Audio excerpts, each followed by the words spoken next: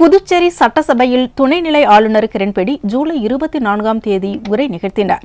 துணைநிலை ஆளுநர் தனது உரையில் முதலமைச்சர் தலைமையில் மிக சிறப்பாக நடைபெறும் இந்த ஆட்சி மக்களின் சமூக பொருளாதார முன்னேற்றத்தில் தொடர்ந்து கவனம் செலுத்துவதுடன் சமூகத்தில் பின்தங்கிய மக்களின் நலனை பாதுகாப்பதிலும் அதிக கவனம் செலுத்துகின்றது.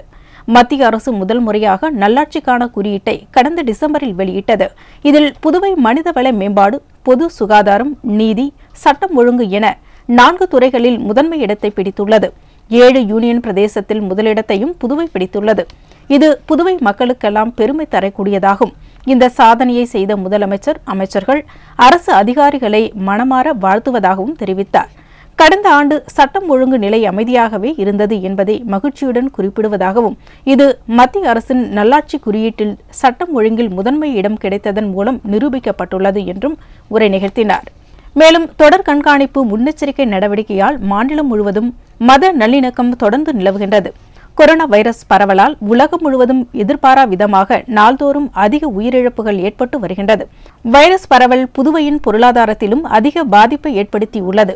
கொரோனா பரவலை தடுக்கும் வகையில் நாடு சரியான நேரத்தில் திறம்பட செயல்பட்டதை பல உலக நாடுகளும் உலக சுகாதார அமைப்பும் பாராட்டியுள்ளது மேலும் கொரோனாவை கட்டுப்படுத்த தேவையான அனைத்து நடவடிக்கைகளையும் இந்த அரசு மேற்கொண்டு வருகின்றது. தேசிய அளவில் ஊரடங்கு அறிவிக்கப்பட்டதற்கு ஒரு நாள் முன்பே புதுச்சேரியில் ஊரடங்கு அறிவிக்கப்பட்டு கொரோனா எதிர்ப்பு போரில் முன்மாதிரியாக விளங்கியது.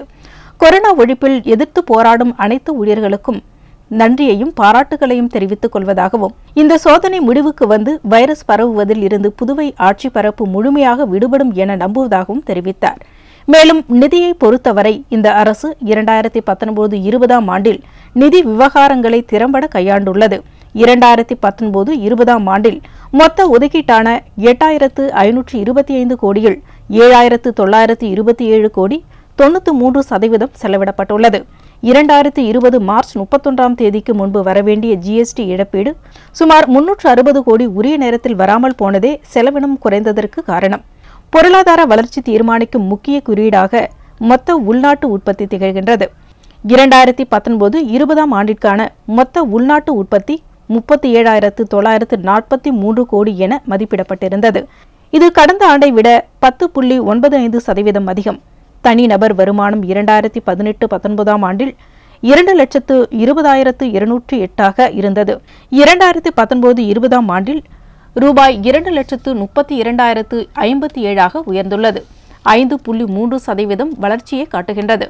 புதுவையின் நிலையான பொருளாதார வளர்ச்சிக்கு உறுதுணையாக இருக்கும் வகையில் அரசு கடன் வட்டி செலுத்துதல் நிதி பற்றாக்குறை வருவாய் பற்றாக்குறை போன்ற முக்கிய காரணிகள் மத்திய அரசால் பரிந்துரைக்கப்பட்ட வரம்பிற்கும் இந்த அரசு உறுதுணையாக நிர்வகித்து வருகின்றது. இந்த அறிமுக உரையுடன் இரண்டாயிரத்தி பத்தொன்பது இருபதாம் நிதியாண்டில் அரசு பல்வேறு துறைகளில் மேற்கொண்ட திட்டங்கள் சாதனைகளை குறிப்பிடுவதாகவும் தெரிவித்தார்.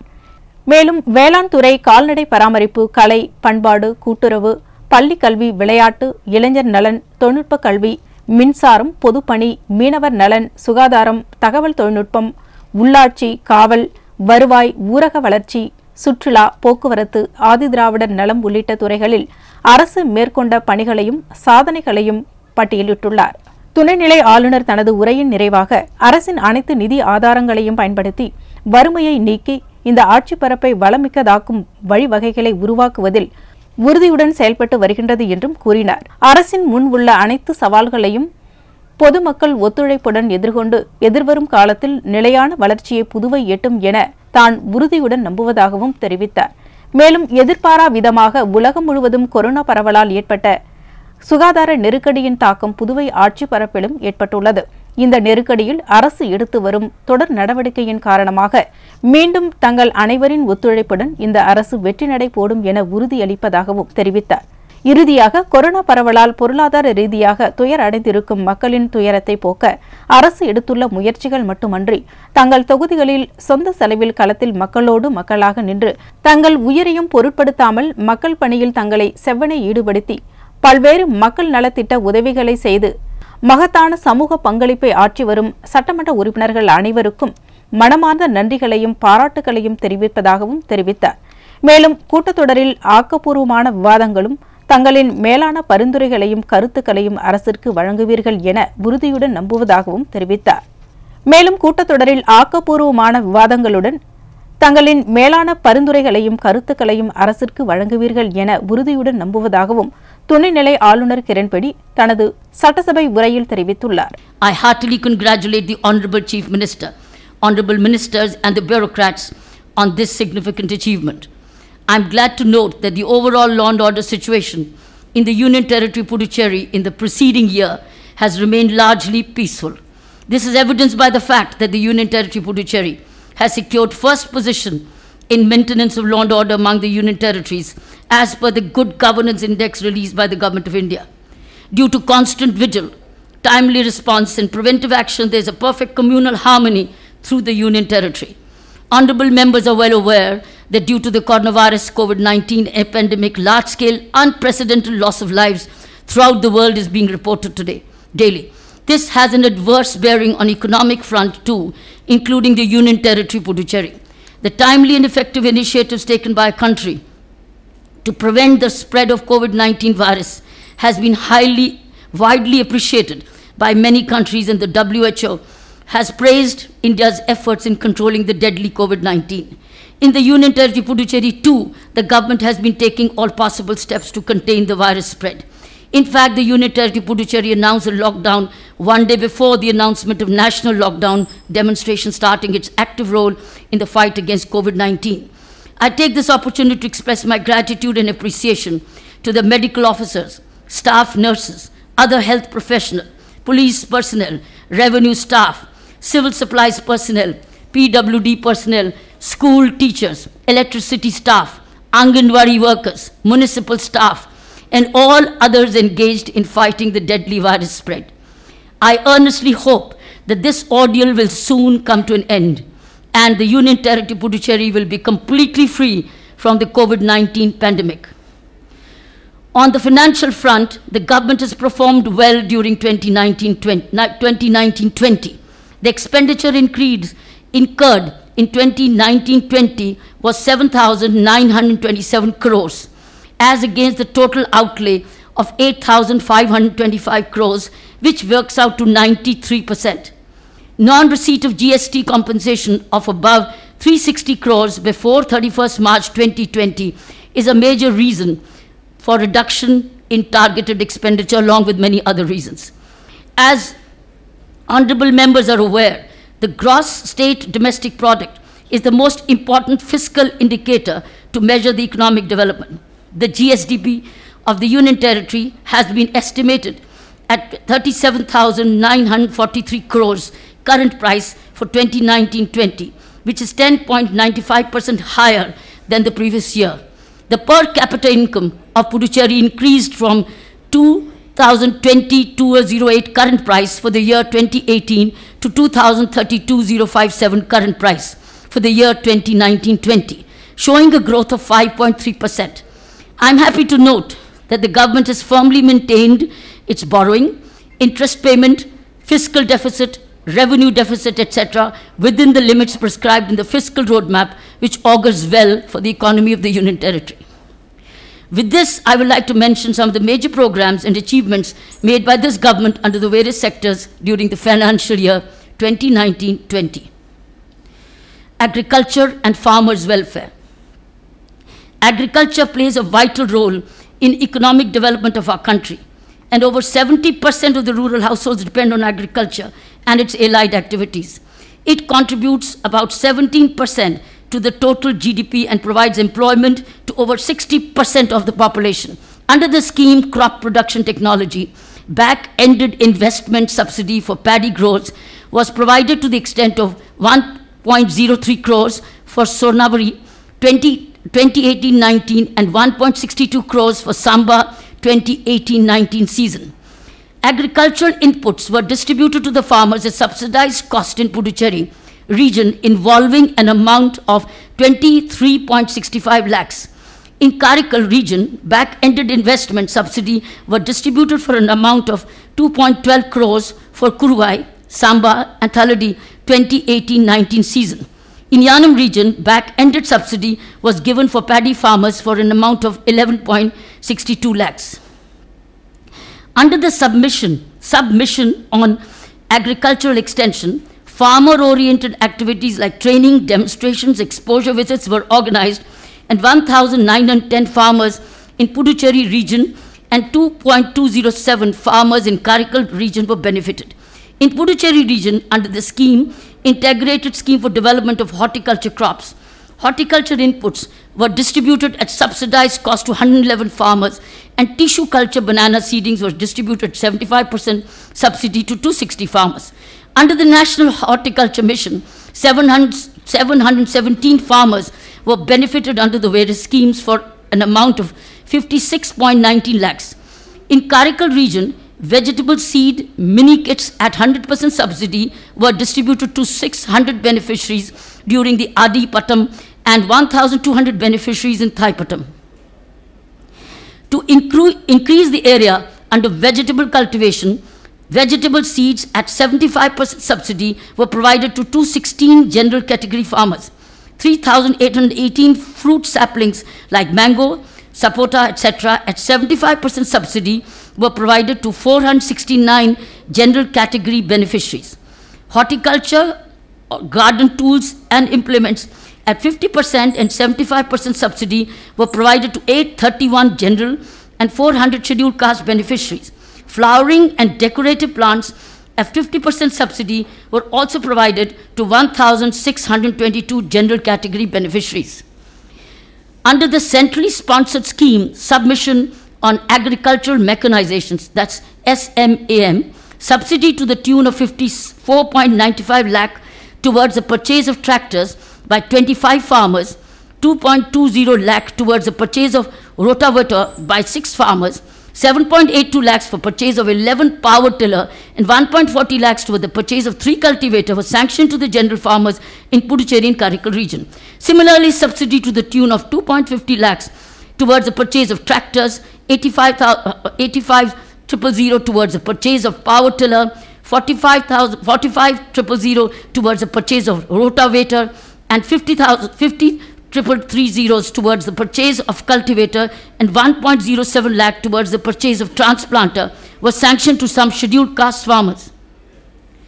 Under the integrated scheme for development, harvesting, recharging and conservation of groundwater, 37.47 lakh was spent for payment of 65,000 subsidy to 627 general farmers for construction of tube wells and an amount of 4.48 lakh for payment of 90% subsidy to three scheduled caste farmers. Pradhan Mantri Fasal Bima Yojana, which is a centrally sponsored scheme for crop insurance, has been implemented in Puducherry, Karikal and Yanam regions. The government of Puducherry has been the pioneer at national level to come forward to meet all the farmers' share of crop insurance premium in Union Territory Puducherry, in addition to state, state subsidy, subsidy, so as to ensure more coverage of non-loany farmers. 4,025 farmers in Puducherry region covering 3097 hectare and 4301 farmers covering 3808 hectares in Karikal region have been enrolled under the crop insurance scheme. Claims to the tune of 45.22 lakh was settled by Messrs National Insurance Company Limited through DBT to 468 farmers of Yanam region who suffered yield loss during Kharif 2018. Under ENAM project, online bidding through app, mobile app has been made mandatory for crops like black gram, green gram, thinai, ragi, and kambu, apart from paddy. 92 licensed traders and 8,500 farmers have been registered in the portal. Electronic weighing machines have been introduced. Innovative electronic sticker boards have been deployed at, and CCTV cameras have been installed. The Enam Mandi in Union Territory Puducherry is the first Wi-Fi Mandi in the entire South. Any farmer or trader who wishes to access data can do so free of cost. Pradhan Mantri Kisan Samman Nidhi PM Kisan scheme was successfully launched in Union Territory Puducherry on 24th February 2019, coinciding with the launch, national launch of the scheme by the Honorable Prime Minister. Under the PM Kisan scheme, the landholding farmers' families have been provided financial benefit of 6,000 rupees per annum per family. So far, 9,911 farmers have got benefited under this scheme. animal husbandry, and animal welfare. All the veterinary services are being provided at free of cost through the network of field veterinary institutions in the Union Territory Puducherry. Free treatment to 271501 cases of livestock, poultry, and pet animals have been provided in 2019 20. Preventive vaccinations were given to 110, 7 to 8 cases of livestock, poultry, and pet, pet animals. 59,846 artificial inseminations have been done to produce desirable future stock, and 2975 calves of desirable superior germplasm were born. 49,500 metric tons of milk and 113.7 lakh eggs and 1463 635 metric tons of meat have been produced during 1920. Art and culture. Financial assistance has been disbursed to 139 local authors for publishing the manuscripts in literature and art. Kamban Pugazh Award to 10 Tamil writers were awarded during the occasion of the birth anniversary of Mahakavi Bharathiyar Fellowship grant to 27 research scholars in the field of culture and linguistic backgrounds were given, was given. Weekend program on Sundays were organized in the beach in association with tourism department to entertain not only the local public but also to attract the tourists besides encouraging the local artists. The mega festival like Fete, Fete de Puducherry, Kudai, Kudai Visa, National Drama Festival, Sadhana Samskriti, Yuva Mahatram were celebrated in association South Zone Cultural Center with participation of local cultural troupes and artists across the nation. As a part of Ek Bharat Shresht Bharat scheme, 40 youths from Daman visited Puducherry in the month of October 2019 under cultural program, cultural exchange program. In Arankupam, the construction of Tagore Cultural Center is at the final stage of completion and will be functional for February 21. Civil supplies and consumer affairs.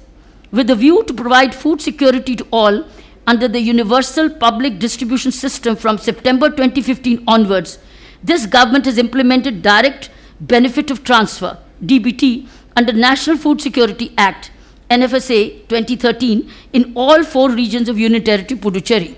And cash subsidy is being directly credited to beneficiaries' Aadhaar linked bank account, Antyodaya Anna Yojana.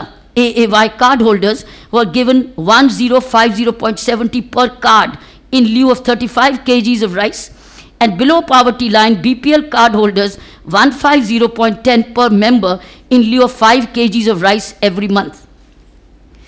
Under state free excise, under state free rice scheme, cash equivalent of 20 kgs of rice per month, that is 600 rupees to each BPL AAY cardholders, and cash equivalent of 10 kg rice per month, that is 300 to each APL cardholders of the Union Territory Puducherry, is directly transferred into their respective bank accounts through DBT since April 2019.